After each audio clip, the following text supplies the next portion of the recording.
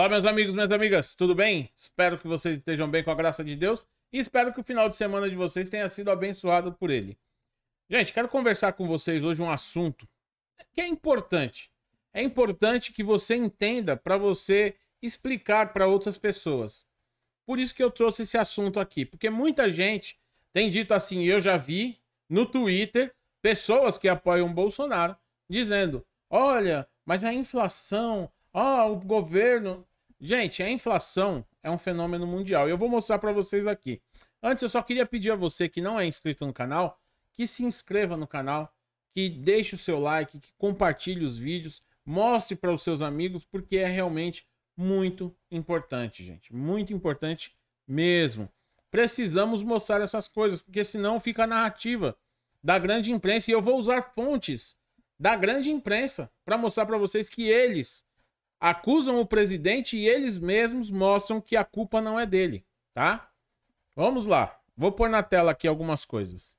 Primeiro de tudo, uma lista dos países que têm é, inflação no mundo. Vocês vão ver que a coisa no Brasil não está tão ruim quanto dizem, né?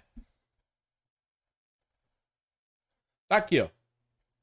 Venezuela, Sudão, Líbano, Suriname, Síria, Argentina, Zimbábue, Irã, Etiópia, Angola e uma série deles, tá? E aqui você vai encontrar o Brasil, 9,68 nos últimos 12 meses, tá bem?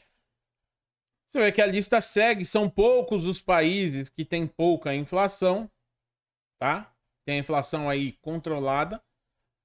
E alguns têm deflação, o que também é ruim para a economia, tá? Não é algo bom.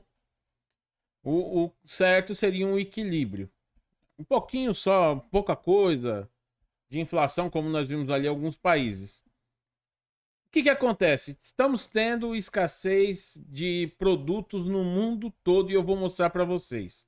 Vamos lá, vamos mostrar outros países aí e a, o cenário mundial. Aqui, ó. Dizem que somos a nova Venezuela. Brasileiros contam como sobrevivem à pior crise da história do Líbano. Tá aqui, ó.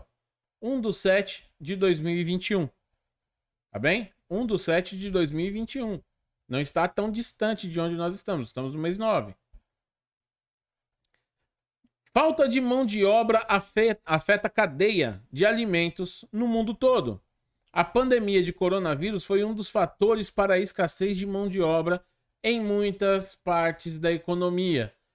E vocês vão ver aqui essa foto. Você vai olhar vai pensar assim: nossa, é a Venezuela, nossa, a Argentina. Não, é algum país da África. Não, Europa. Olhe só. Escassez de alimentos. Tá aqui, ó, fruta fresca, vazio. Olha as prateleiras vazias. A mulher olhando aqui, o que, que eu vou comprar? Não tem nada. Aonde que é, ó? Em Cardiff, no Reino Unido. Ele que estava reunido com Bolsonaro hoje. País do Boris Johnson. Tá aqui. Escassez de alimentos. E não é só alimentos que estão faltando, mas isso aqui é um dos exemplos. Ó. A falta de mão de obra abala cadeias de suprimentos de alimentos no mundo todo. No Vietnã, o exército está ajudando na colheita do arroz. Olha só. No Reino Unido, agricultores jogam leite fora porque não há caminhoneiros para coletá-los.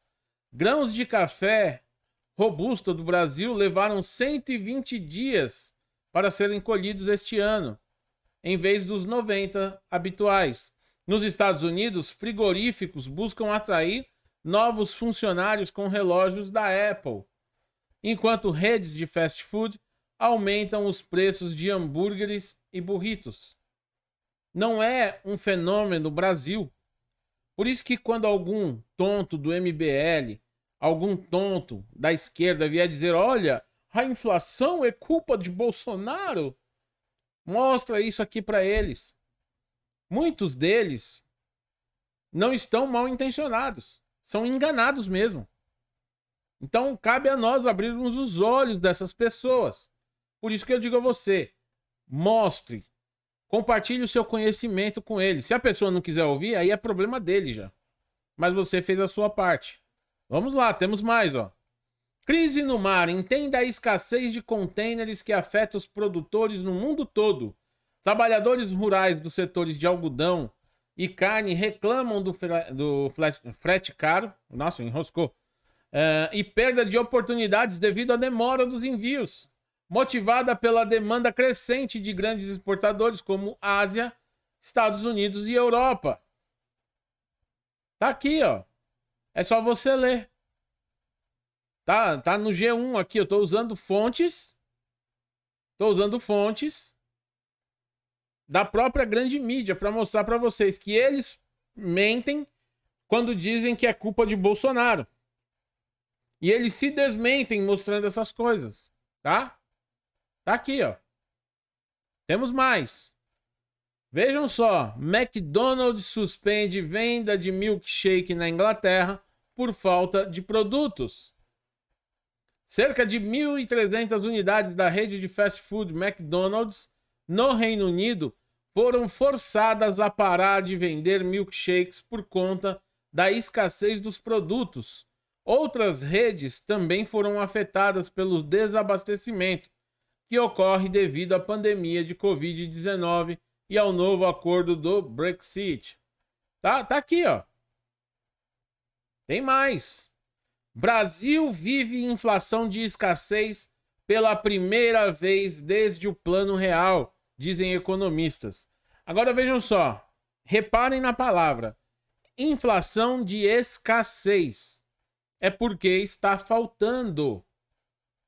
Tá? Está faltando. Não é simplesmente porque os empresários querem subir os preços, não. Claro que eles aproveitam e sobem os preços.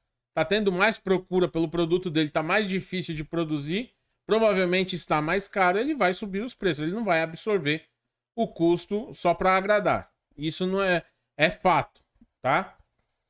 O IPCA 15 de 0,89 registrado em agosto foi o pior no mês, é, para o mês nos últimos 18 anos. Economistas entendem que o resultado revela um cenário inédito. Pela primeira vez desde a adoção do Plano Real, Brasil enfrenta a inflação motivada por escassez. Geralmente, o aumento de circulação do dinheiro ocorre pelo excesso de demanda, que impulsiona os preços. O problema é mais percebido especificamente na indústria automotiva, onde os prazos para entrega de novos carros ultrapassa 120 dias. Isso tem aquecido, por consequência, o mercado de usados. Para reduzir os atrasos, veículos têm chegado ao mercado sem acessórios. Agora, vejam bem, eu recomendo a vocês, não precisam acreditar em mim entrem no Google ou no DuckDuckGo ou no buscador favorito seu, tá? E digite lá o modelo do carro que você tem e o ano e veja a tabela FIP dele, o quanto era e o quanto está. Você vai notar que houve um aumento, em muitos casos, até em alguns modelos absurdos. O modelo do meu carro aumentou cerca de 11 mil reais. O valor da tabela dele. Porque, como está faltando carros novos, estão procurando mais carros usados. Isso faz o preço subir. Maior demanda, menos oferta, o preço sobe. Isso é fato, acontece sempre. É uma lei do mercado. Não é culpa de Bolsonaro, gente. Isso que tem que ficar claro o que está acontecendo não é culpa de Bolsonaro, é um fenômeno mundial. Não é só aqui no Brasil, nos Estados Unidos, cerca de 42% a inflação de carros usados lá. O preço do carro usado nos Estados Unidos subiu cerca de 42%. Para vocês entenderem que não é culpa do Bolsonaro, é culpa da escassez, é culpa das políticas públicas. Vejam só, eu vou falar é, desse modo para que não me censurem aqui no canal.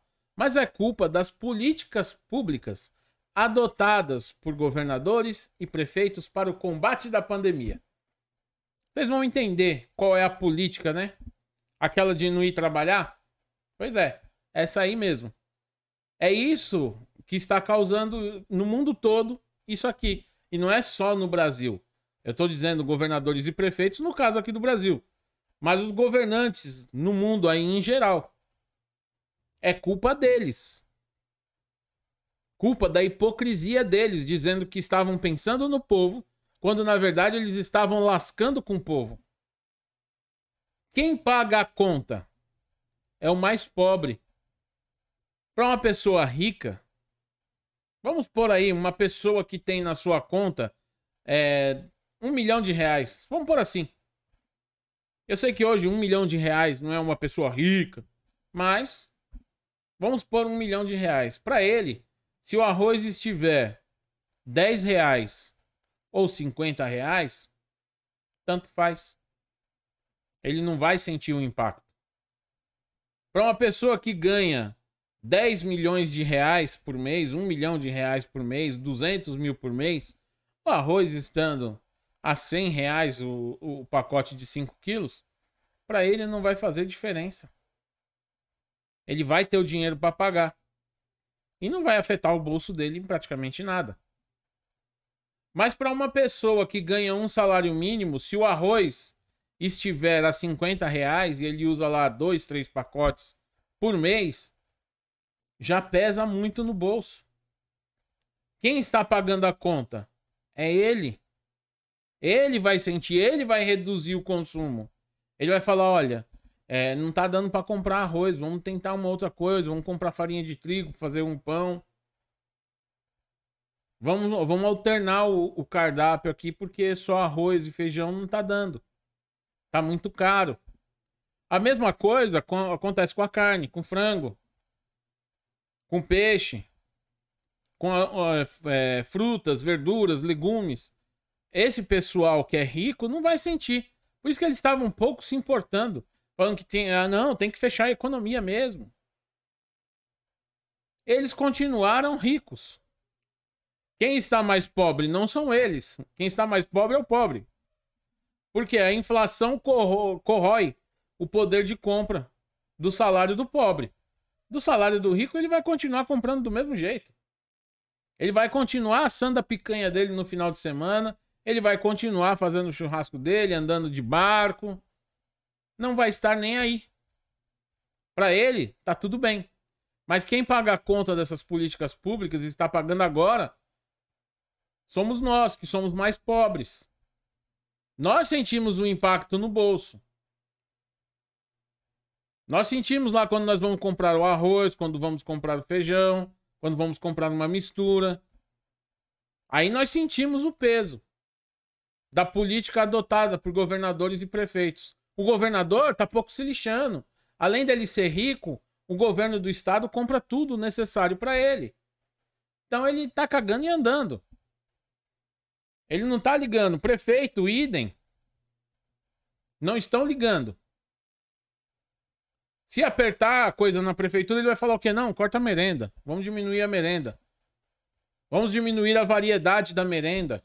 Ele vai fazer isso. Ele vai estar tá pouco se lixando. Aqui, ó, corroborando a notícia anterior, que o Brasil vive uma escassez uma inflação de escassez pela primeira vez desde o Plano Real. Inflação só recuará em 2022, aponta ata do Banco Central Europeu. Na França, a fome aumenta entre os jovens. Primeiro mundo. E a fome entre os jovens aumentou. Nunca vi algo assim, a escassez global de produtos que ameaça o mundo e o seu bolso. É difícil de imaginar que nos Estados Unidos, um dos países mais ricos do mundo, exista a escassez de produtos. Mas para comprar um carro novo, móveis ou materiais de construção deixou de ser uma tarefa fácil no país. Em muitos casos, os consumidores precisam esperar por meses antes de conseguir o produto que estão buscando. Isso porque o congestionamento de contêineres nos principais portos do mundo está provocando interrupções intermitentes nas cadeias de abastecimento. Como muitas empresas mantêm estoque mínimo com o objetivo de reduzir custos, quando situações como essas ocorrem, elas ficam sem a quantidade necessária de produtos para atender a demanda. Tá aqui, ó, Estados Unidos, a maior economia do mundo, e sofre com escassez também, com inflação. A inflação do carro usado nos Estados Unidos já está batendo 42%. Por quê? Está faltando veículos novos para serem entregues. Falta semicondutores. Diversos acessórios necessitam de semicondutores. Os carros cada vez, com cada vez mais tecnologias precisam mais de semicondutores, mais de chips, de diferentes modos. E isso atrasa. Por quê? Não vai trabalhar. Estamos pensando em, é, em proteger vidas, como dizia aqui em São Paulo. E o que, que ele fez na primeira oportunidade? Olha, nós vamos proteger vidas aumentando o imposto. Vamos aumentar o imposto da carne, do ovo, do frango. Vamos aumentar o, o imposto dos produtos da cesta básica. Aí, quando dizem que ele aumentou imposto, ele fala cinicamente assim: eu não aumentei impostos, nós apenas retiramos os incentivos fiscais. A culpa do combustível alto não é do ICMS. O ICMS corresponde a quase 40%, mas não é culpa dele. É isso que ele fala, que ele prega e que a mídia mostra para você. Mas basta ter um, um pouquinho de senso e questionar um pouquinho só que você vai entender. Por isso que é tão importante, gente, que você mostre para os seus amigos, para os isentões, ou para aquelas pessoas que muitas vezes bem intencionadas dizem assim: olha, a culpa é do Bolsonaro, mas não sabe nem o que está falando. Então cabe a você mostrar a realidade para essas pessoas. Eu sei que é difícil, sei que é chato pra caramba, mas temos que fazer, tá certo? Um grande abraço, que Deus abençoe a todos aí e até a próxima.